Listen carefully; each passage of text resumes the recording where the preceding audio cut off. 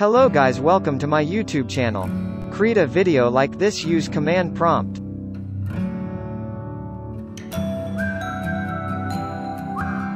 Let's see how to do this follow my steps.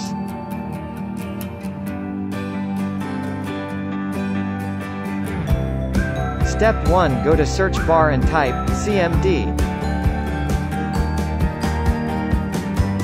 Then open command prompt.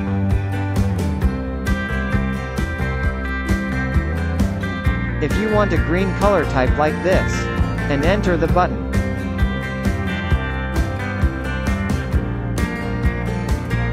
If you want a red color type like this, and enter the button.